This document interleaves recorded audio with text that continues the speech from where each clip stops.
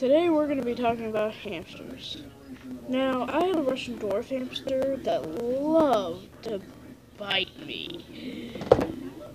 And her name was Fluffy, and she lived for two years, full life.